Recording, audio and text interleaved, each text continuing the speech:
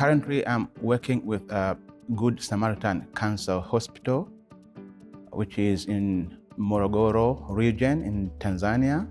And I'm working as a, a pathologist and head of the laboratory services.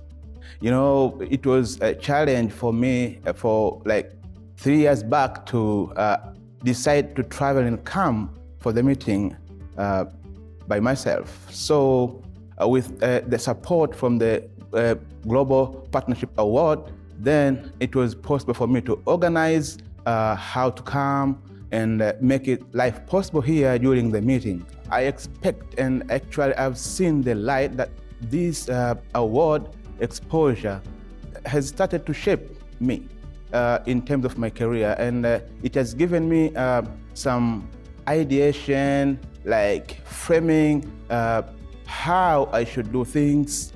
And most importantly, it has given me some very important and relevant information that gives me confidence and shape as to how to advise my director at home. This type of meeting should keep on supporting people globally, like what it has done to me and uh, other people. It can continue to support those who are unable to come and uh, uh, get this type of exposure, educational materials, and very importantly, the connection that we never get if we don't get to this type of meeting.